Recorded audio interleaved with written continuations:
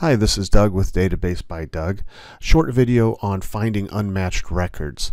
The normal pattern involves a left join, which is an outer join.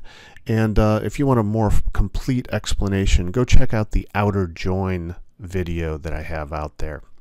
So some practical examples of finding records in one table that do not line up or satisfy a join in the other table might be products that are not in a category or categories that are not in the products table.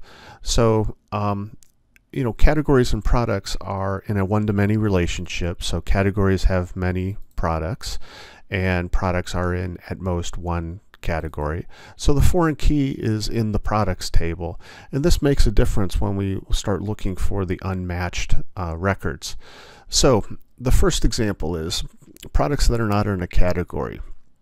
And when you look at the join condition between these two, where I'm, I'm trying to get the category ID and categories to match the category ID in products, um, this is an easy thing to check. I can just look for a product that doesn't have a foreign key. Uh, in other words, the foreign key value is null. Um, if it actually had a foreign key value, it would have to be a valid foreign key value, so it wouldn't be unmatched. So this is pretty easy on this um, in this direction because everything I need is in the products table. I actually don't need to go look in the categories table because I know it's either got to be a good category ID or it's got to be null if I come from the other direction and say, well, what categories don't have products in them? In other words, I'm looking for a category ID that's over in categories, and that category ID does not exist in any product records. So here's the pattern, then we'll, we'll dig into why it works. Is categories is the, is the table of interest in this case, and then products is kind of the unmatched thing. And I do categories left join products, where the primary key of products is null. So more generally, I have this table of interest and I left join that with the other table, the unmatched table. And then I look in that unmatched table for any record that's shown over there that has a primary key that's null. So that indicates that it's a null record and that the record doesn't really exist. Now let me go into more detail here. Let's say we do a normal join between these two tables where I have the primary key and the foreign key is equal based on my join condition for every record. So with a normal join or an inner join, which is uh, implied here, this is the case. And these are all the records that satisfy the join, so these are all matched records. Notice that there's 77 of them.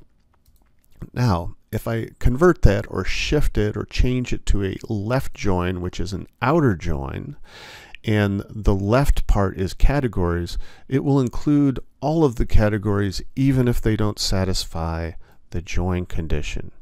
So you can see that I have 78 rows now, and if I look for that row, there it is. Uh, I happen to have put this category into this database, and what I can see is that there is a null value here which violates this join condition. And that is, this record here is provided by the left operator. Um, you can think of it as the left operator says include office supplies even though there's no products record. But I need to make the whole, the database needs to make this a full table. So what it does is it inserts a null record. In other words, a record with all null values for all the fields. And um, but sometimes you know you might say, well, maybe the category ID is just null. Um, uh, how do I know that it's really a null record? Well, the primary key of products is product ID the only way I can have a null product ID if this is, if this record really doesn't exist. It can't really be a record over there or I would be violating uh, the primary key constraint. So um, at this point I have all these records. I have records that line up between category ID. They are matched. This is the record I'm interested in and the way to eliminate all the other ones and keep just the one that I'm interested in is to put a where condition in that says where the product ID in products table is null. So there we go. There's the final form of it.